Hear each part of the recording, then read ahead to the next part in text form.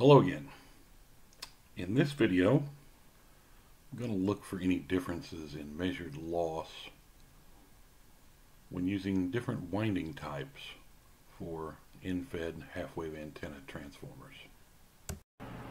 Once again, I'm using ferrite 594-300-3801 cores.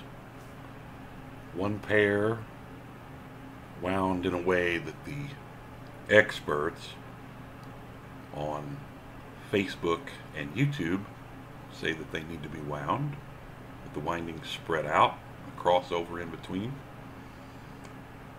And the other pair wound as tightly as I can get them.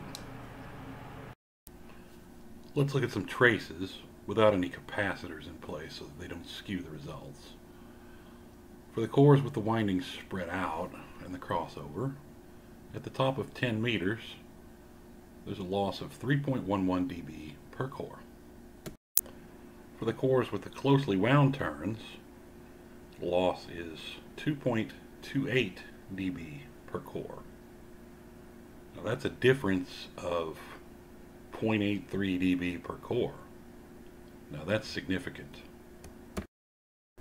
And you can easily see that here when the two traces are overlaid.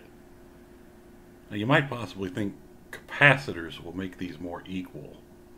So let's examine that by installing some low loss capacitors. Well now they're even more different. The closely wound core, that's now what I would call usable from 40 meters to 10 meters. The loss of 1 dB or less per core. It's not great, but it's usable. Keep in mind, 1 dB loss is only 79% efficient, so put 100 watts into this and you only get 79 watts out.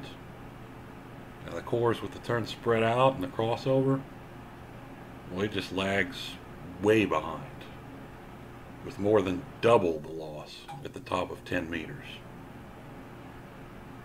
As always though, don't take my word for it. Measure these things yourself. If you like this video, please subscribe. More videos to come. Thank you.